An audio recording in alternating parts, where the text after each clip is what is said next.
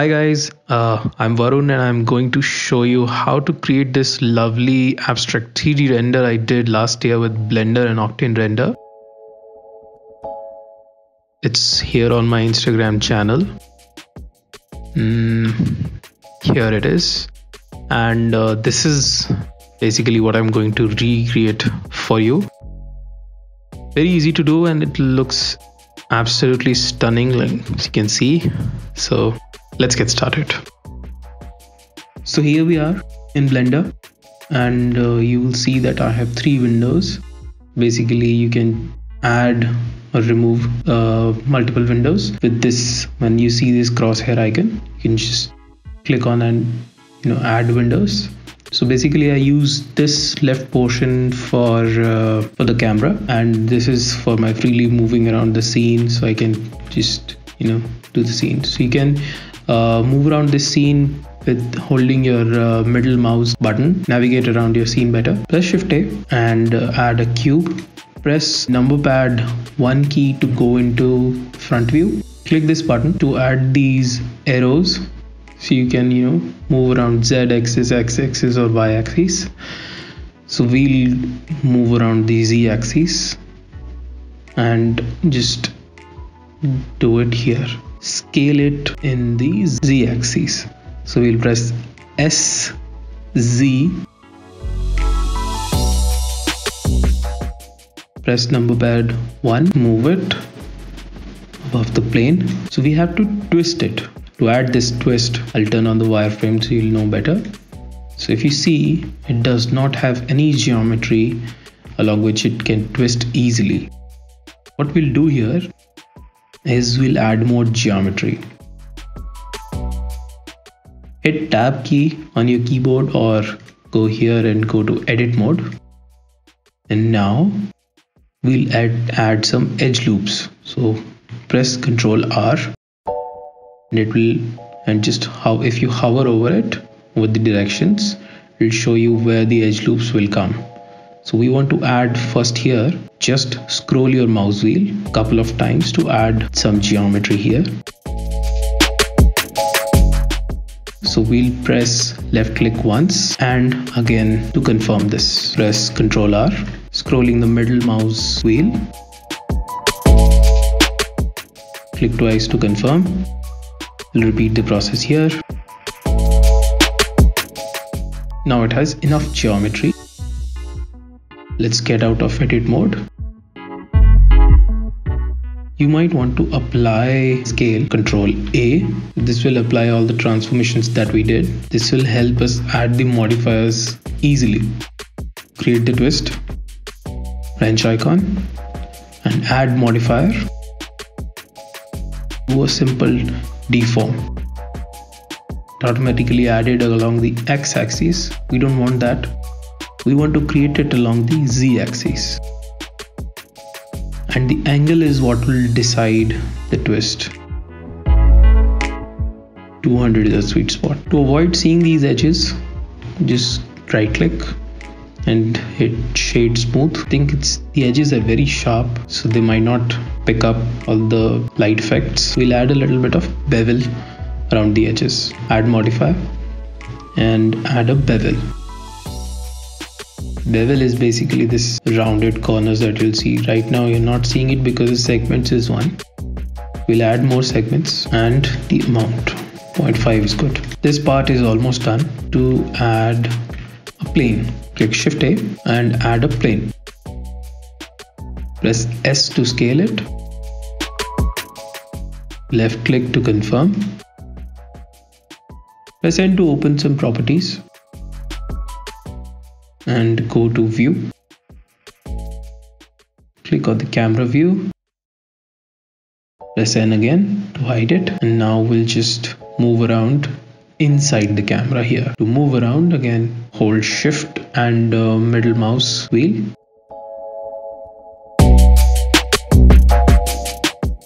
Just move it here so you see these lines.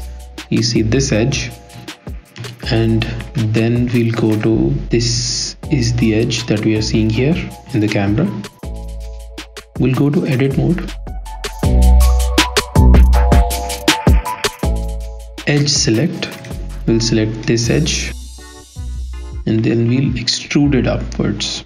So to do that press E on your keyboard. And then Z to move to extrude in Z direction edge it again. We will bevel it. So to do that press ctrl B. And then just move your mouse just like that to add more segments middle mouse. Press tab again to come out of it. And then we'll shade smooth this again. Press R like this. I'll go into the front camera view again. That's one on your numpad just want to see if it's touching the base properly. It's not intersecting. Before adding lights let's add an empty. We'll add empty right in the middle of our object. The lights will track this empty the lights will always be facing our model. Now let's add some lights. Because I'm using Octane Render, able to use area lights, press Shift A and add area light. We'll connect it with that empty that we just created. So it'll always be moving a lot like that. So we do not have to do it manually. So if you press G, that will grab the light and if you see the light we'll have to adjust it manually every time. We don't have to do that manually. We can do that with the help of that empty that we just created. We'll go here in the object constraints. We'll add a damped track along the minus z axis. Select empty from here now it will always track this empty that we just created. Press G on the keyboard. We'll do it nice and easy. We'll duplicate this. Do shift D duplicate. Turn on our viewport shading. Let's see how it looks in Octane. Super bright. We don't want sunlight so we'll disconnect it here. So we'll add a node color texture. Press shift A. Under uh, octane environment we'll add a texture environment. And connect it to octane environment. We have white light. We don't want white light you want a black background. Don't worry we'll be able to see it just a minute. Let's go to object. Let's select our lights first. Click on use nodes. Let's remove this node. Let's shift a to add more nodes and go to search type black body emission this is what we want connect this node to emission don't worry about all the other details we we don't have to go a bit deeper into it right now the only things we need to check is power surface brightness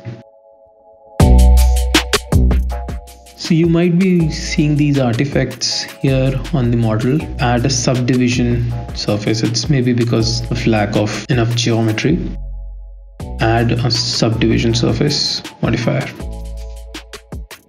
See now it's gone. I don't want my lights to be able to see inside my render. So to hide it from the render but to keep the light falling on this uh, object I'm just going to click here on object properties and click uncheck camera visibility. So it's hidden from here. We'll do the same steps this other light.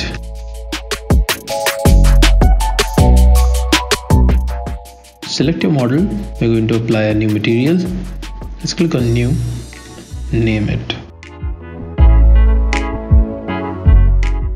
So I'm not going to use this universal material I'm going to use a specular material because I want it to be a glass.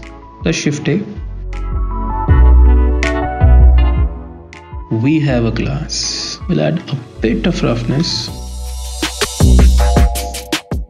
Now I want to change this dispersion coefficient. This is the effect that's going to make it and break it. Experiment with this. I'm going to experiment with this. Let's start with 0.2 let's adjust our lights. You will have to play with the lights a little because lights really add to the effect. So we're not able to enjoy the effect because of the plane. So let's make the plane. Let's remove this and add a glossy material. To keep the color little black.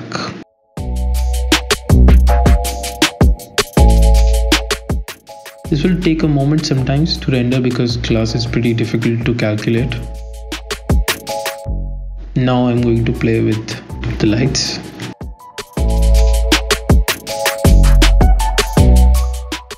Another thing that we can play with is click on this is index of refraction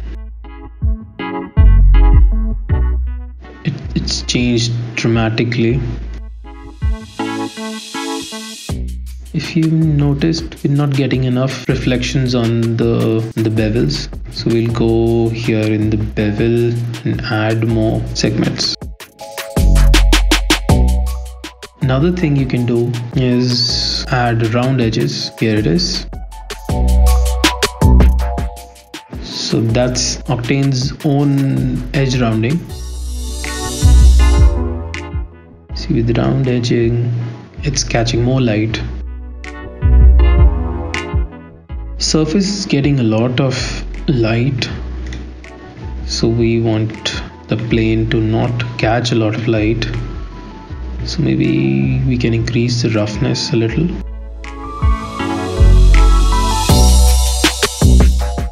We'll also change the camera perspective real quick so I want to change it to orthographic. So we'll we'll manipulate the camera right from here. Cool we'll render this out. I'm going to turn this off for now. Octane does not allow us octane for blender actually doesn't allow us uh, to render two instances at once. So we'll have to shut this one so we can render out so i'm going to move to viewport shading. And uh, let's come to render properties. For class I'm going to keep maximum samples at about 1024 so I think I'm going to keep these settings as they are. I don't really change a lot of these settings oh yes. And there's one more post processing that you can do. Go into camera. This this on. Quickly turn this on. We can add bloom and glare. Turn this off. We'll check the size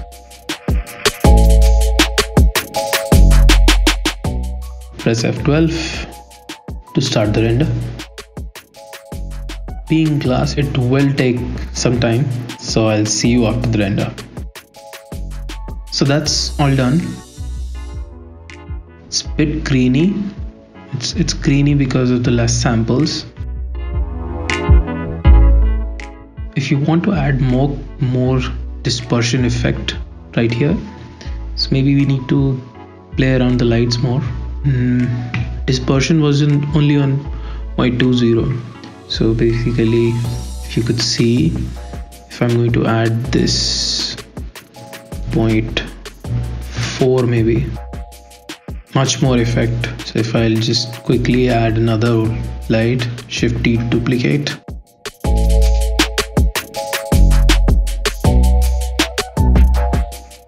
So it's all about how you play with it. So it's you see that it's now adding more and more dispersion.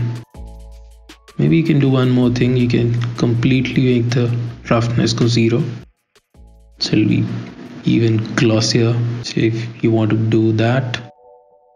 So if you did like the video, please like, share and subscribe to my channel. Please do comment if you have any questions. If you want to ask me anything, you can just head over to my Instagram. And uh, this is my first Blender video. So I'm hoping that I will bring more videos into the play. Thank you for watching. I'll see you next time.